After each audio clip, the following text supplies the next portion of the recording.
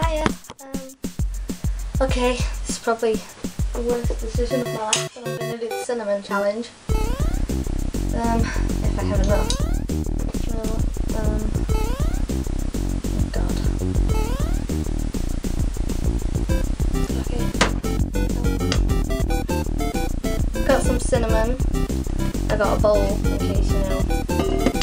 Roll up. Right, here it goes.